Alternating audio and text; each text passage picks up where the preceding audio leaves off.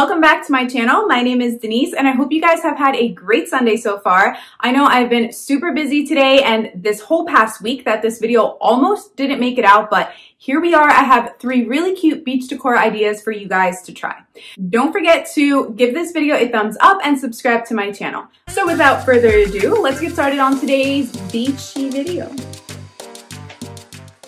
Our first DIY today is this beachy wall hanging that I made out of air dried clay. I'm going to start by showing you how I made the starfish. So I used some cardstock to draw a starfish shape onto it and create a template and then I cut it out.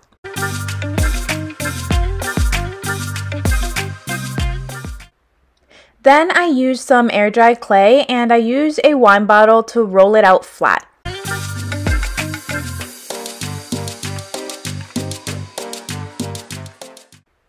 Once you've rolled out your air dry clay to the size that you need, you're going to put your starfish template on top of it, and then you're going to carefully cut around your template using an X-Acto knife.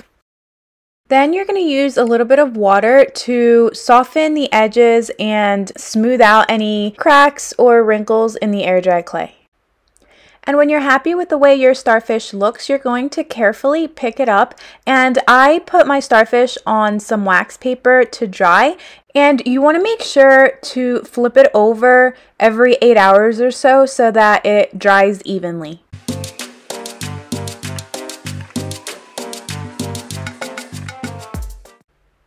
So to make my sand dollars for the wall hanging, I ended up rolling up some air dry clay and then with my X-Acto knife, I cut into the air dry clay and I'm really just eyeballing a circle. It really doesn't have to be perfect because sand dollars are not perfect circles. So I cut it out and then I used a little bit of water to soften up the edges and then also to create a little ridges and bumps on the outside of the air dry clay. Once I was happy with my circle, I used this clay sculpting tool to lightly carve out a flower shape in the middle of my circle that sand dollars usually have. And once the little flower was done, I used an X-Acto knife to cut into the air dried clay to give it those holes that also sand dollars have. I definitely had to look up a picture of a sand dollar to make sure I was getting the holes right, so I do recommend looking up a picture. You can also just follow along with me here. So after the X-Acto knife, I went in with this dotting tool to make sure that my holes were nice and open. Keep in mind that air dry clay does shrink a little bit when it dries, so just make sure they're nice and open.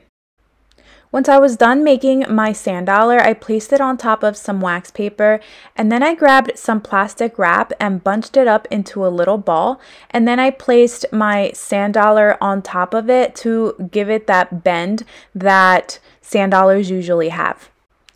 Also, don't forget to create a little hole on the top of your sand dollar. We're going to need that hole in the hole we created previously at the bottom to hang our sand dollars. And then again, this will take about 48 hours to completely dry and make sure to flip it over so that everything dries evenly. So once everything is nice and dry, you can go ahead and paint it. I'm using some white and some parchment color acrylic paint, which is sort of like a beige color. And I sprinkled some baking soda on top of it to make it really thick and look a little bit sandy.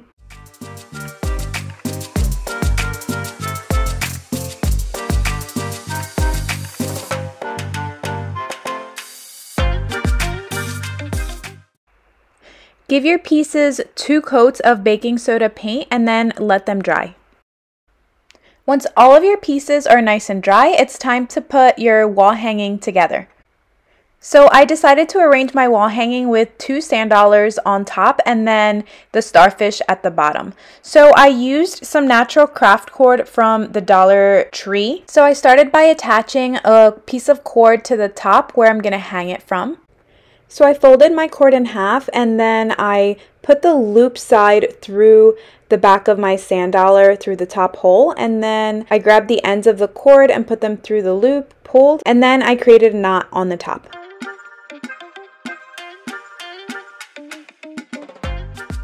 To attach the next sand dollar, I grabbed another piece of cord and I attached it the same way I did the hanging string on the previous sand dollar.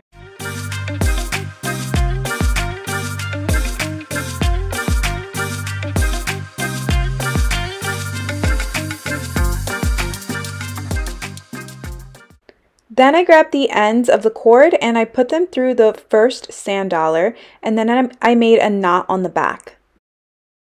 And then I put my fingers through that loop I created with that knot and I put my second sand dollar through it and pulled. To attach my starfish, I grabbed a piece of cord and I attached it to the second sand dollar the same way I did the other cords. And then I grabbed the ends of those cords and I wrapped it around the top of my starfish and did some knots on top. And then I continued wrapping it and knotting it until it was nice and secure.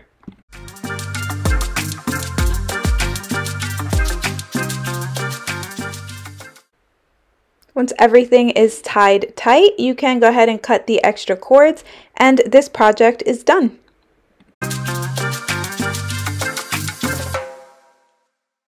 Our second DIY is this cute starfish 3D painting. For this project, you'll need a wood panel. Mine is an 8x8 from the Dollar Tree. I started off by mixing these two acrylic paints. It's Phthalo Blue and Phthalo Green and mixing it with a little bit of white to create like a sea bluish greenish color. And I almost forgot here, but make sure to tape down your edges to get some clean lines. I taped mine just underneath of the face of this wood paneling.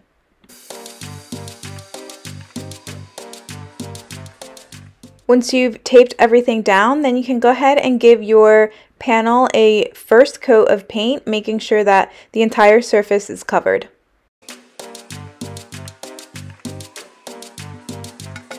Once that first coat of paint was dry to the touch, I mixed some more paint and then I added baking soda to give the panel some texture and make it look sandy and beachy. I ended up using a good amount of baking soda in my paint mix because I really wanted to give this wood panel a lot of texture. Once you're done with that second coat of paint, make sure to take off the masking tape while the paint is still wet and then let your wood panel dry completely. Once your wood panel is completely dry, it should look something like this. As you can see, it looks very textured. And then to finish this project off, I simply hot glued an air dried clay starfish that I made with my first DIY. I apologize for that blurry footage. My phone completely went out of focus while I was hot gluing the starfish to my wood paneling. So that completes our second beach decor project. Our third DIY is this adorable fishing net jar that I made using a recycled pickle jar. So for this project, you will need a jar and some 4mm macrame cord. Now the jar can be a mason jar. I use a pickle jar, although it was really hard to take off the labels, but with some boiling hot water and soap, I was able to get all of the sticker stuff off. So to start off, what you want to do is grab a piece of macrame cord and tie it around the rim of your jar, making sure it's not too tight because we are going to be attaching other strings to it. Then you're going to cut pieces of macrame cord that are four times the length of your jar. And for my size jar, I ended up cutting eight of these pieces. Once all of your cords are cut, you're going to start attaching them to the macrame cord that's tied around the rim of the jar. Use a Lark's head knot to attach your cords. So what you want to do is Fold your cord in half and then take the loop end and put it through the rim. And then put your fingers through the little loop, take the ends of the cord and pull.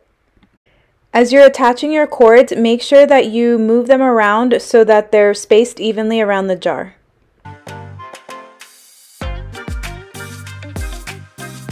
Once your cords are all attached, you can go back to that cord that's tied around the rim of the jar and make sure that it's nice and tight. And again, make sure that these cords are evenly spaced out around the jar uh, so that we can start making our knots and creating our little fishnet around the jar.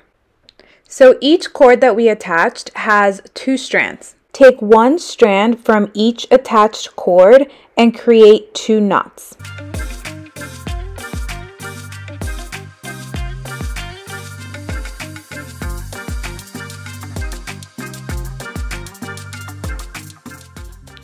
Then continue by grabbing the next two strands of macrame and doing the same thing, making two knots. And then continue around your jar the exact same way until you are back where you started. Once you've gone all the way around, you're going to essentially do the same thing. So you're going to grab one strand from each of the little knots and then create another two knots a little bit lower on the jar, creating a diamond shape. And then you're going to continue doing the same thing around your jar. And then once you're done that round, you're going to start another one. And I'm just going to let this footage roll so you can see how I did this.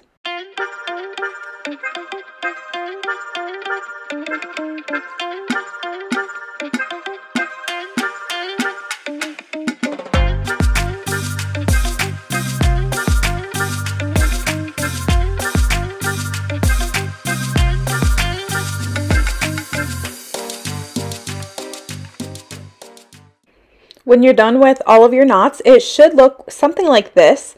And then to finish it off, you're going to gather all of the excess macrame at the bottom of the jar and then pull a little bit, gather them as best as you can. And then you're going to take some scissors and cut as close to the jar as you can. And then you're going to glue each of the little strands one by one to the bottom of the jar with some hot glue.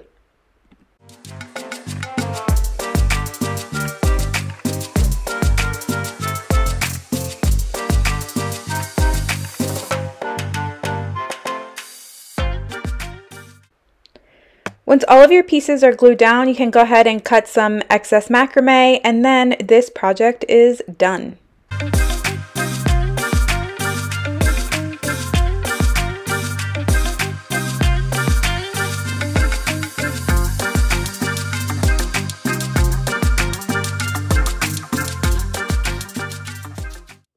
Alright guys, that is all for today. I hope you guys enjoyed today's video and I hope you'll give one of these beach decor ideas a try because they are so cute. And if you did like today's video, don't forget to give this video a thumbs up and subscribe to my channel for future DIYs.